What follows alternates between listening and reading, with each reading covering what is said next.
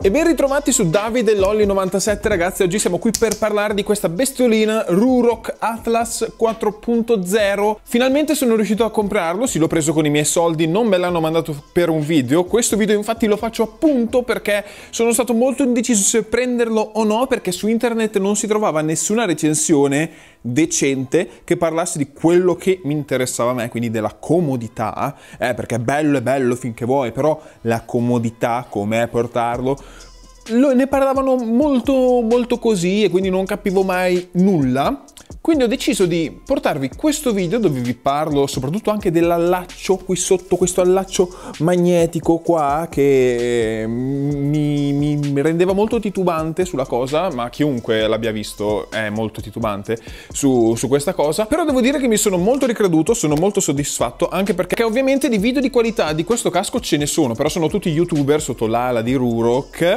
e che non è più che parlarne, lo mostrano, eh, perché ovviamente è bellissimo da vedere, è inimitabile e capirete anche perché io me ne sono innamorato, c'ha molte cose super comode e altre cose che proprio fanno smadonnare di brutto. Però ragazzi, se io sono qui oggi a parlarvene, e faccio un video senza che me l'abbiano inviato gratis, senza che qualcuno mi dia qualcosa, vuol dire che ci tengo. Quindi ragazzi, oggi vi farò sentire come al centro sociale, perché? Perché parleremo con i fatti, quindi avendolo provato, ok? E piccola parentesi, per tutti i sessualmente repressi che sono all'ascolto che mi vengono a commentare con eh, non si è capito qua, io parlerò di questo casco, quindi Atlas 4.0 e lo confronterò con il mio vecchio casco, che è questo Exo Scorpion 1400 Air, ok? Lo confronterò perché ho avuto modo di provarli per tantissimo tempo tutti e due e di testimoniare il passaggio da uno all'altro quale differenze ci sono. Quindi quando parlerò di questo sarà l'Atlas e di questo sarà lo Scorpion. Perché se ogni tanto mi confondo e dico questo e questo, capite di quello che stiamo parlando. Quindi invece di sfogarvi nei commenti perché siete sessualmente repressi, ragazzi, il mio consiglio è fatevi una pippa, andate a... capito? E poi guardatevi il video senza sfogarvi con eh, chi non ha colpa de- vo- dei vostri fallimenti, ok? Continuiamo il video dove vi parlo di questo. Allora, mettiamo un attimo da parte questo e vi parlo di lui. Eh, cosa l'ha reso il mio casco preferito? Inizio con i pregi e poi dopo avrò parecchi difetti da illustrarvi, ok? Adesso c'è la visiera, ragazzi, visiera trasparente normale con il pin lock montato, ho preso il pin lock, il supporto per la GoPro, ci ho anche montato il mio interfono che è il Cardo Freecom, c'è qui sopra il video che vi spiego anche questo un po' come funziona rispetto a un interfono molto più economico, se vale la pena o no, quindi se vi interessa andatevelo a vedere. Pin lock su questa visiera, ragazzi, obbligatorio, obbligatorio perché a meno che non girate solo d'estate, se la utilizzate che c'è un po' di freddo si appanna con niente, ok? O che prendete la visiera che hanno fatto, quella che si oscura da sola, che costa una follia, però ha già il trattamento, quindi non dovete neanche comprarci il pinlock, ha già il trattamento tutto. Ehm, non ho avuto modo di provarla, non credo che avrò modo perché veramente costa un patrimonio. E va bene così, va benissimo. C'è anche quella oscurata in dotazione che non è omologata per la circolazione su strada, ma noi non lo sappiamo e l'ho utilizzata molto comoda finché non viene buio, ovviamente, però con quella, con quella oscurata tipo è il casco dell'anno, cioè è, è, una cosa che fa paura veramente, quando vi incontrano si buttano dall'altra parte della strada e giù per un grotto perché siete proprio imponenti. Per la ventilazione invece avete una regolazione interna per questa parte, mentre sopra la regolazione è qui, aperto o chiuso in tutti e due i casi e devo dire che è molto ma molto ventilato quando l'andate ad aprire. E a volte diciamo che necessito di aprire anche un po' la visiera quando sono fermo perché sennò veramente soffocate male. Però devo dire che è molto ma molto ventilato. Ha la protezione qua ovviamente ha tutte le cose di sicurezza e anche la chiusura magnetica ragazzi. Questa chiusura magnetica vi faccio per farvi capire voi quando ce l'avete addosso basta che andate a cercare eh, questo pezzo e vedete si è agganciato e non lo aprite più a meno che non andate a tirare questa parte e si apre, ok? È un semplice gancetto, adesso ve lo farò vedere anche zoomato, è la cosa più semplice del mondo, però è in metallo, non so che metallo sia, ma è metallo, ok? Tenete presente la parola metallo perché dopo ci sarà da ridere. Comunque è metallo, quindi iper resistente, ci fanno vedere che ci sollevano varie cose, quindi tanta tantissima roba. Questa è la cosa più comoda perché veramente io che sono molto cerebroleso quando eh, devo partire con la moto, a volte mi capita di mettermi prima i guanti del casco. Eh, e con l'allacciamento classico ci si riesce, però si fa molta fatica a metterselo con i guanti, mentre questo vi infilate il casco, fate, date una sberla proprio e vi si allaccia da solo. Cioè, una cosa più comoda di quello anche quando dovete scendere dalla moto. In due secondi ve lo togliete, ve lo mettete. Cioè, Sembra, ma so- è una di quelle cose che quando sono dovuto tornare al mio vecchio casco mi è mancata di più di tutte. Come mi è mancata la comodità interna, ragazzi. Cioè, io adesso tiro fuori il mio vecchio casco, che è lo Scorpion, eh, per chi se lo stesse ancora chiedendo. Allora, questo qui, ragazzi, ha dei pregi, eh? Anche, anche dei pregi rispetto a questo di cui vi parlerò dopo. Però vi devo dire che questo qui, ragazzi, mi ha fatto dannare quando me lo sono rimesso. Se, se io penso che con questo, prima di acquistare questo qui, eh, prima di acquistare l'Atlas, con lo Scorpion sono andato fino in Svizzera. Con un MT-09, ecco, la moto che ho è un MT-09 2021. Quindi è una naked, non ho nessuna protezione, nessun cupolino che mi, che mi pari dai moscerini, da, dall'aria e tutto, quindi comunque l'aria la sento tutta e la scomodità del casco la riesco a percepire tutta, quindi veramente, se, se, vi dico che è comodo è perché è comodo davvero. Con questo, infatti, quando me lo sono rimesso, ragazzi, qua, mamma mia, mi, mi pressava la testa in un modo che voi non avete la più minima idea. Cioè, proprio è mai più testimoni i miei compagni di viaggio che anche per fare dei giri di un'oretta ogni tanto mi veniva la nausea. Non so per quale motivo ragazzi, cioè avevo eh, i sintomi della gravidanza utilizzando di nuovo questo casco perché mi ero abituato a questo che ragazzi ha degli interni che quando ve lo infilate la prima volta è strano, ma vi, vi, ci dovete fare l'abitudine. A forza di usarlo ragazzi diventa... cioè non vi accorgete di averci il casco addosso e poi soprattutto anche lo spazio, cioè la visuale ha questa parte del naso che vi rimane riparata, ok? Però ha questa parte che da vedere non sembrerebbe neanche, però è molto più espansa e quindi per vedere magari alcuni dettagli, tipo per guardare lo specchietto, che io ce li ho in basso gli specchietti, con questo qua lo, li vedevo tranquillamente. Con questo devi sempre abbassare la testa, distrarti un attimo da quello che succede sulla strada. Sembra, ma è veramente tanta roba. A livello di resistenza aerodinamica, io pensavo che fosse scomodo con queste mega prese d'aria, cioè mi aspettavo che facesse un casino. Il cazzo, ragazzi, ve lo dico molto sinceramente. Quando mi sono rimesso lo Scorpion, vi dico solo che sentivo dei rumori che io pensavo che la moto avesse dei problemi, perché dei rumori che con questo non avevo mai sentito, non ero più abituato a sentire. Cioè, io non so davvero come ho fatto a stare tutto il tempo con questo. Veramente qua dopo un'ora mi devo fermare, togliermelo e farmi quei 5-10 minuti senza perché sennò sto male. Mentre questo proprio lo potrei tenere un giorno intero e vivere con questo. Davvero, veramente tanta roba. Altra cosa, la sostituzione delle visiere, molto rapida in questo, con questo ancora meglio, soprattutto oscurata, perché questo trasparente dovete vedere l'ingranaggio qua a modo e per l'aggancio, mentre anche questo qui è molto più facile da cambiare, eh? ha i suoi triboli che adesso vi spiegherò perché è uno dei lati negativi che ho avuto modo di provare, però veramente tanta roba. Poi l'aspetto estetico ragazzi, questo purtroppo nessun altro casco è tamarro,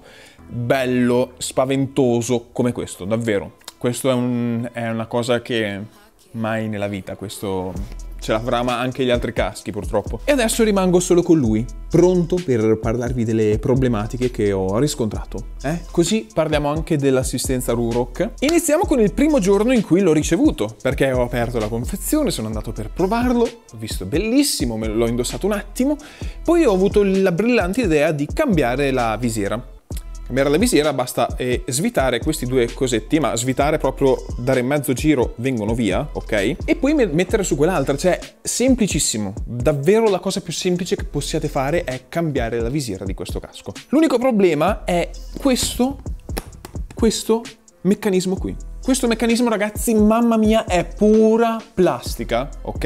È qua che vi ho detto, ricordatevi la parola metallo, perché questo meccanismo è pura plastica. Ho avuto la fortuna di beccarne uno difettoso che è composto da due molle, vi starò facendo vedere delle clip per farvi capire di cosa sto parlando, ok? Il perno centrale quando andate ad aprire il casco che fa lo scatto, ok? Quando andate ad aprire i vari scatti sono ammortizzati da queste due molle. Le due molle che avevo io un, da una parte non, non facevano niente, quindi la parte rimaneva ferma fissa. Cosa ho fatto? Ho cambiato la visiera, ho aperto la visiera e quando l'ho richiusa ho, guardato il casco per farci una foto per, eh, che ero gasato, cavolo, lo dovevo far vedere a tutti. No, no, perché c'era questa parte che era sollevata come non so cosa, si era rotto il perno. Eh? L'ho dovuto utilizzare per qualche giorno perché ovviamente io avevo la scimmia ragazzi, cercate di capirmi.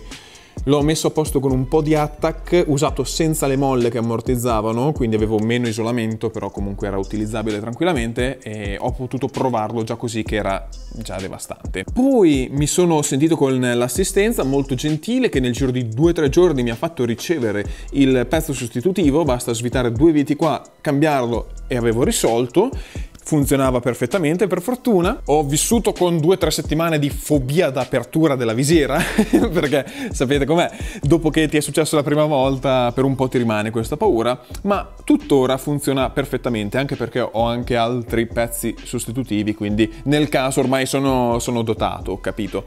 Solo per il casco, però sono dotato. L'ho utilizzato due, due mesetti, diciamo, ed è sorto il secondo e ultimo, diciamo, problema.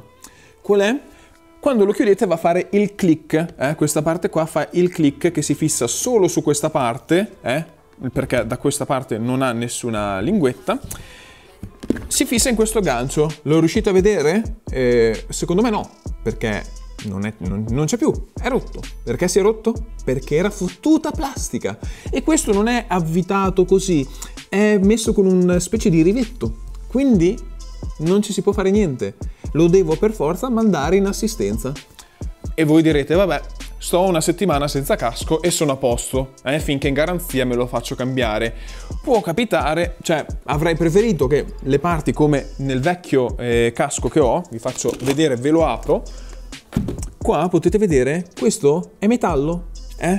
Questi ingranaggi sono tipo fibra di carbonio sono fatti in un modo molto più resistenti e molto meno soggetti a tensione, ad usura durante l'utilizzo. Potrei capire che magari per questioni di sicurezza questa parte non la puoi fare in metallo, ma il gancetto sì, cazzo, lo, lo devi fare in metallo.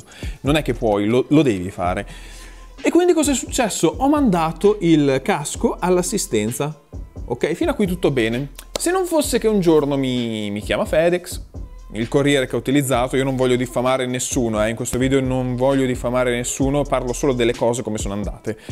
Allora, mi chiama FedEx e mi fa, ci manca il codice fiscale, glielo do, tutto a posto. Ok, avevo già percepito che ci sarebbe stato un leggero rallentamento nella consegna per questo motivo, però vabbè, succede, no? Errore mio soprattutto. Mi richiamano il giorno dopo dicendomi, ehi, ma manca il documento T1. Voi lo sapete cos'è il documento T1? Perché io cazzo non l'ho ancora capito, porca puttana. Vi spiego cosa dovrebbe essere. Il documento T1 è un documento, mi hanno detto, oh, ci vuole questo, te lo deve fare, ogni regione ha il suo ente che lo, ve lo procura, comunque cerca su internet, lo trovi. Ok, metto giù Cerco su internet, non c'era niente, assolutamente niente che mi facesse capire dove si trovava.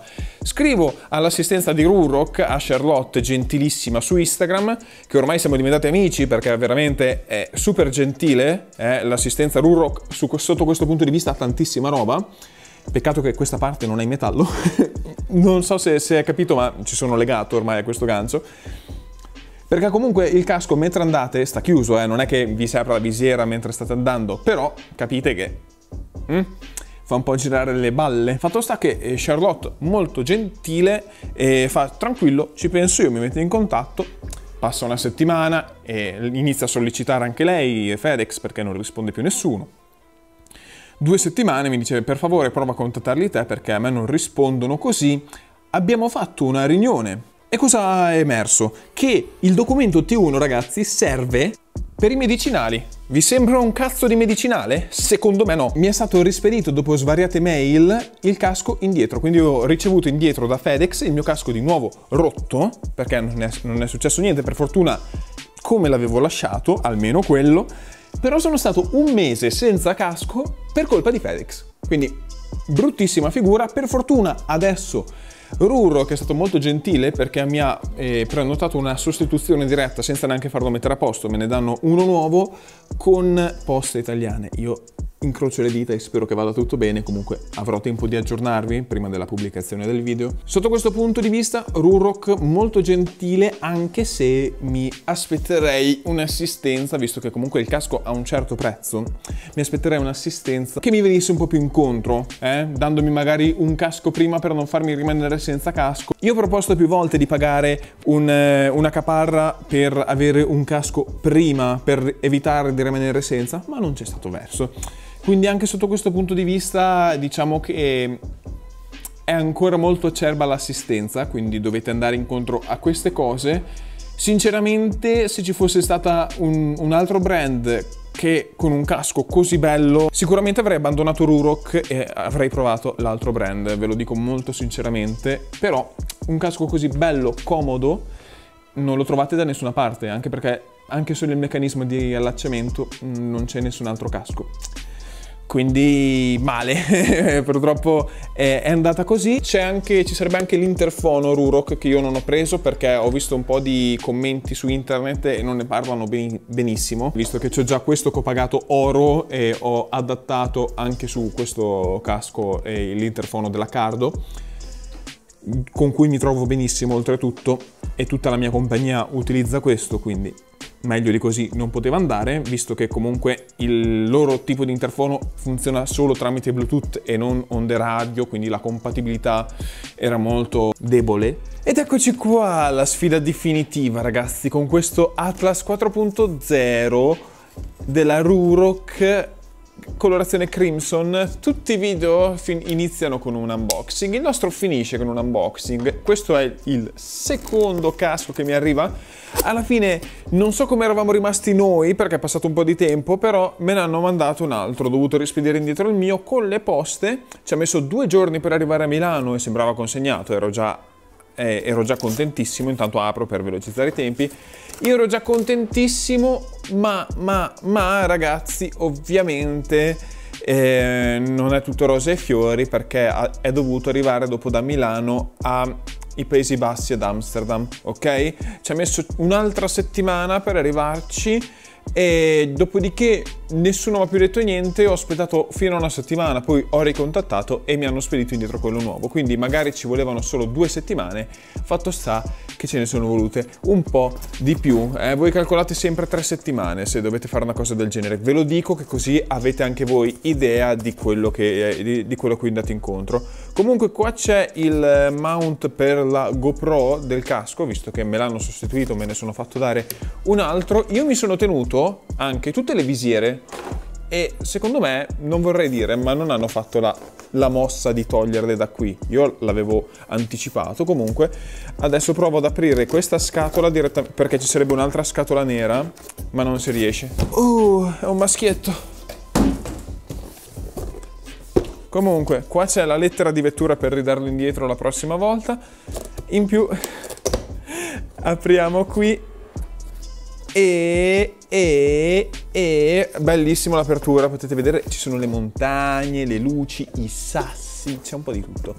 E vediamo, vediamo se c'è quello che ci interessa a noi, cioè il casco. Ok, visiera, che questa penso che sia quella da sole, mentre qua c'è il casco con visiera montata. Ok, quindi ho quattro visiere per il casco, due oscurate e due normali, di cui una ha il pin lock, quella qui a casa che l'ho tenuta poi per quel motivo. Eccolo qui, signori, eccolo qui.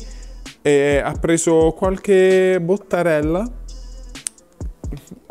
Già non, non partiamo benissimo, però il casco sembra ridotto benissimo mi è mancato un po' tanto, eh? dimensione L barra XL che fa due taglie in una e wow, c'è, c'è anche il, la chiusura magnetica, le varie etichette. Testiamo l'apertura, vediamo quando ci mette a rompersi sto giro. Allora, mamma mia se è solido questo. Ma l'hanno ridisegnato. Furbi, Furbi bastardi! Hanno rifatto questa parte, non è più come quella che avevo io prima, è fatta in un modo più intelligente perché adesso quando io lo tiro giù, sentite, si è già andato a loccare. Prima questa cosa non la faceva, quindi l'hanno migliorato e anche un sacco secondo me, di brutto perché rispetto a prima proprio, cioè adesso anche quando è qua un colpetto e si chiude. Prima io quando lo volevo chiudere dovevo, mentre andavo, tiravo giù la visiera e poi dovevo spingere ancora di più perché non si chiudeva. Adesso invece è molto più delicata la chiusura, è sempre in plastica eh, perché posso garantire che questa è plastica, e però è molto più piccolino. Questo pezzo qua, ve lo faccio vedere da vicino. Questo pezzo che qua, poi magari è una mia pippa mentale, ma non ve lo assicuro perché veramente, tac, due secondi, è chiuso, perfettamente isolato. Adesso ho una scimmia per provarlo che non avete idea, perché mi dà proprio eh, idea che sia isolato, ma molto, ma molto, ma molto di più. Del resto, l'unica cosa che mi sembra strano è il fatto che, no, è isolato anche qua, perfetto. Io ve lo dico molto sinceramente, dovesse tornare a rompersi, ne compro un altro perché non ce la faccio più a stare senza. È veramente il casco perfetto e in tutto, veramente, per quanto posso aver avuto di questi problemi, è talmente fatto bene che non riesco a farne a meno. So che dovrei essere arrabbiato con la casa produttrice perché si potrebbe fare meglio e ne sono consapevole, penso che ne siano consapevoli anche loro, visto che la modifica comunque l'hanno fatta. Posso dire una cosa?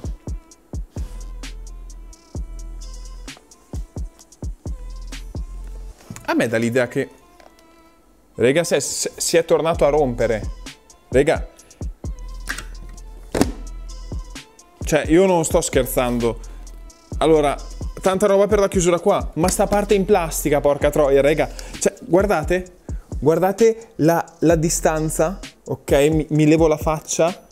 Guardate qua quanta distanza c'è in, in questo punto. Ok? Lo vedete quanto è aperto? è già rotto, si è già rotto il gancetto, adesso io vado a togliere la visiera, lo faccio qui in diretta, ok?